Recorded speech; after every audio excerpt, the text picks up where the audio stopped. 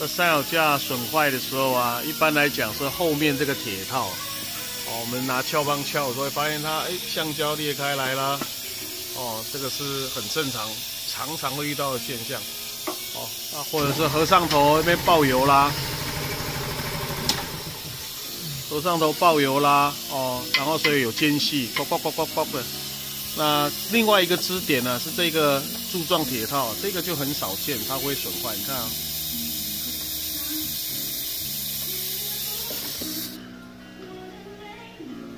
哦，很明显嘛。哦，间隙很大，这个是超级大